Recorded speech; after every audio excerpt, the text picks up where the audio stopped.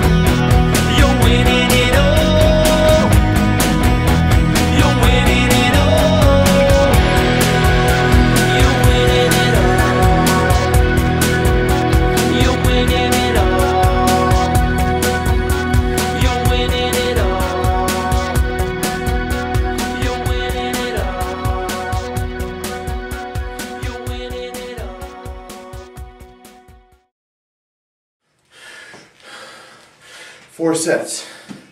Four sets of pull-ups, as many as you can do. Then what do you do? What do you do when you're tired? Can you catch a ball? This exercise, this challenge for you, helps you out. In the fourth quarter, in the third quarter of a game, your arms are kind of hanging and you're dragging. Can you catch a ball? This will help. The better you get at this, the better you'll get in a game or sport. This is Rainy Spaulding, Body Lock Challenge. Just want to see how you do, okay? If you can do better than me, good. That means you're better than than you were.